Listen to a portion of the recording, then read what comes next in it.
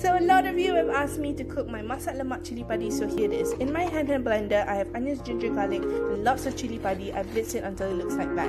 Next, in my pot, I add in some coconut oil before adding all the blended items and then tumis it for about 5 minutes until they're nice and fragrant before adding some turmeric powder as well as one packet of thick coconut cream. Now it was a little bit, you know, fair, so I added a little bit more turmeric powder before adding some water to loosen it up, a seasoning of some salt and a little bit of sugar as well as lemongrass and kaffir lime leaves. Now we want to bubble that until there's a little bit of oil that seeps to the top before adding your fish and some turmeric leaves that is sliced up really thinly.